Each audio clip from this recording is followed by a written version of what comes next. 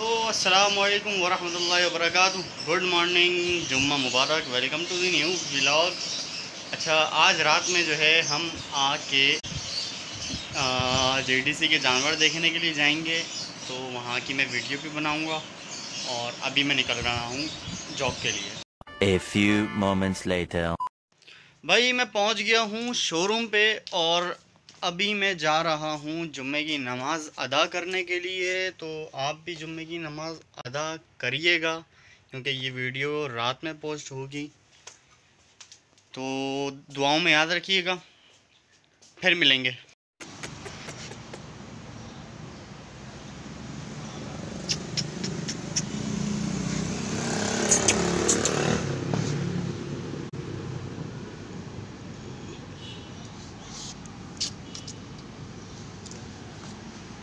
तो मेरे भाइयों मुझे बहुत अफसोस के साथ ये बताना पड़ रहा है कि वकास भाई अब हम में नहीं रहे।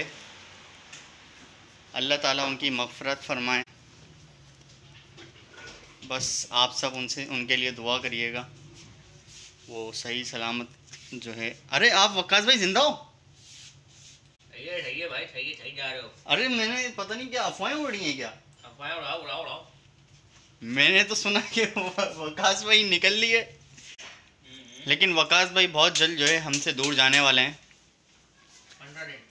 पंद्रह दिन। पंद्रह दिन? में? पंद्रह दिन में वकास भाई हमारा साथ छोड़ देंगे। अल्लाह ताला इनकी जो है इनकी जो है बाद में बताऊँगा मैं इनकी। समझ रहे हो? समझ रहे हो आप? समझ रहे हो? भाई आज मैं आया हूँ जेडीसी के अ, शो शो लगा हुआ है।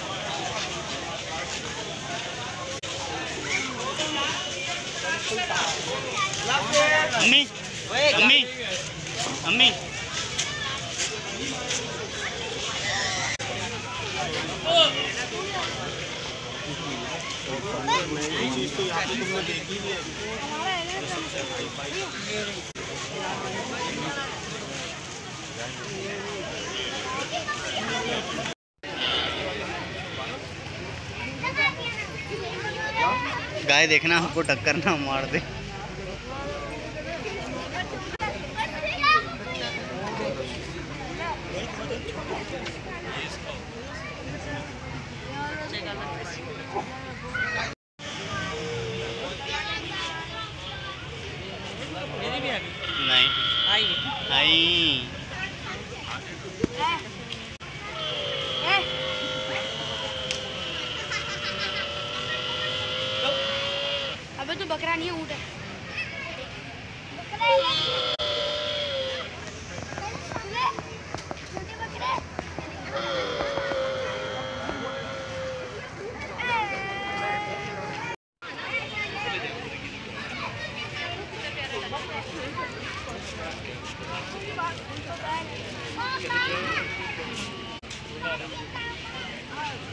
अब मैं आपको दिखाने लगा हूँ पाकिस्तान का सबसे बड़ा बेल।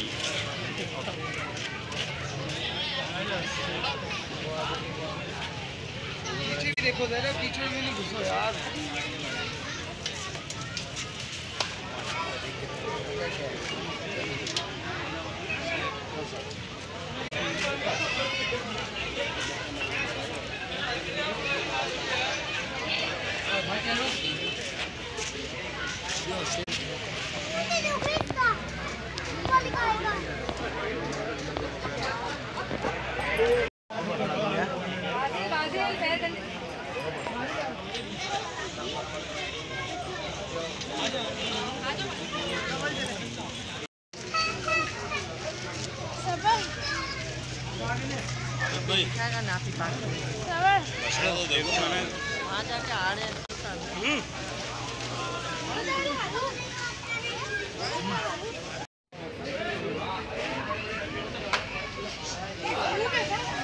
कर देना बेटा कुछ तो होगा कुछ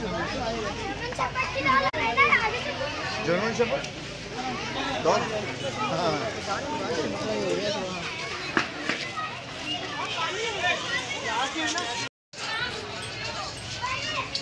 ये है पाकिस्तान का सबसे बड़ा बेल।